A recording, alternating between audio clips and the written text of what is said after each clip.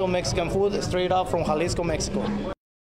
In tonight's New in Town, we're taking you to one of, we're talking to one of the owners of the new authentic Mexican restaurant in Millington. It's now the fourth Don Felipe Mexican restaurant to open up in mid Michigan in the last five years.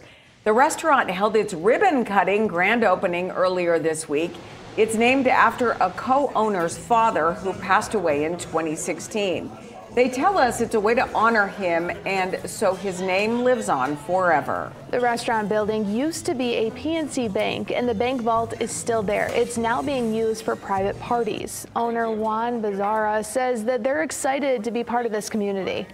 We're very, very thankful and very blessed to be in this town. And Don Felipe, we always choose the small towns because that's what we like. It's just been an amazing road. God has been good to us, and you know, we've been blessed.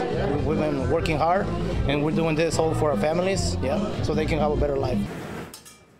Juan says the best thing on the menu, in his opinion, are the street tacos. Don Felipe Mexican Restaurant is open Monday through Sunday. It opens at 11 each morning. For more information and additional locations, head to our website, midmichigannow.com.